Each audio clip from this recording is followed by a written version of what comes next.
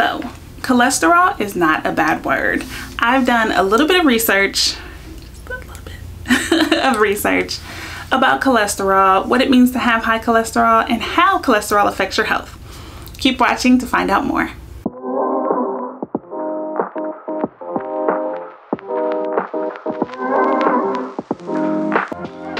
Hey, it's Kyla Denanyoh. Welcome back to another video in the Health at 38 series.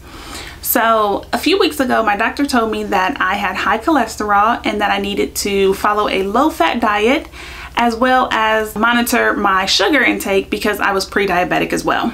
So I've done research into what is high cholesterol, what is cholesterol in general, and how does it affect your health? And that's what we're gonna talk about today. I have to make a disclaimer that I have gone to law school.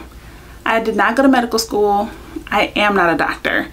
Everything that I'm going to talk about here was found on a Google search. I did make sure I was looking at sites like WebMD or Mayo Clinic, things like that, some reputable sites. So everything I talk about in this video is things that I have found online, things that I've discovered while talking to my doctor.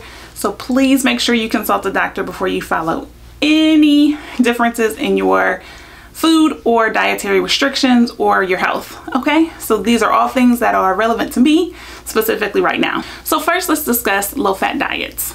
I could not find one singular definition for what a low fat diet is. Instead, what I found was a number of websites that said that a typical diet, American diet, would consist of 44 to 70 grams of fat, which is about 20 to 35% of your calories for the day coming from fat.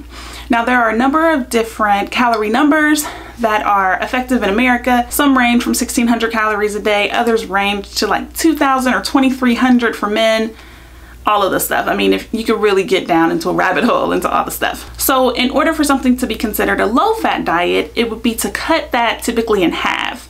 So to have about 20 or 35 grams of fat in a day. One thing that was consistent on almost every site that I looked at was to limit dairy, cheese, milk, um, yogurts even. And that is a really big shift in my life because I have a toddler. So when we eat yogurt, we're eating whole milk yogurt because she needs the calcium. So I just buy it because she nibbles on what I have. Also, when we buy milk, we're buying whole milk. Put a splash of that in your coffee, put a splash of that in your cereal. Next thing you know, you're having a whole bunch of fat all day. So I have been really cognizant.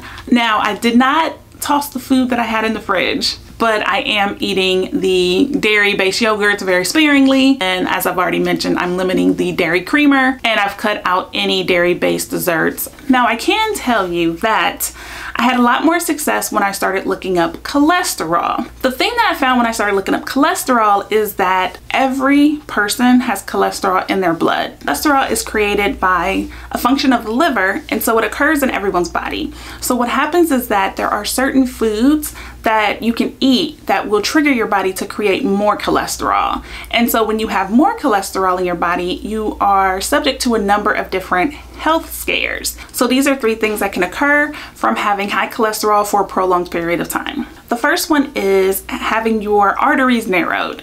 So without getting into too much detail, so you have a heart and you have valves and then from those major valves you have smaller arteries.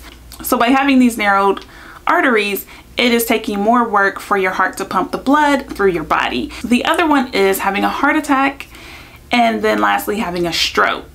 So a heart attack occurs when there is a blocked artery in your body and there's a lack of blood flow to that area of your body. My doctor explained it and I was like, um, what can I do to make sure that that does not happen, right? Heart attack sounds extremely scary. I'm 38 years old what can I do? What is in my control that can help me to not have a heart attack? Right, I definitely want blood to be freely pumping through my arteries, through my veins. And then a stroke is when there is a lack of blood flow to the brain. These are three really serious things that can occur from having high cholesterol levels for a prolonged period of time. Now, prolonged period, when you talk to doctors, it kind of depends on what that means. I do have a physical every year and last year when I had my physical I did not have high cholesterol. Also, I did have to go back to the doctor last August because I was losing weight in order to get off of high blood pressure medicine. The high blood pressure was a result of giving birth to my daughter. I haven't had high cholesterol for more than a year, so that makes me happy. Of course, if you go from having normal levels of cholesterol to really high in a short period of time, you know, there's all these different variables. So it's not like, oh man, I've had it less than a year, I'm good to go. To me, I was like, these are extremely serious. So since talking to my doctor, I've had a really eye-opening experience about what can cause your cholesterol to spike. And for me specifically, it is processed and refined sugar.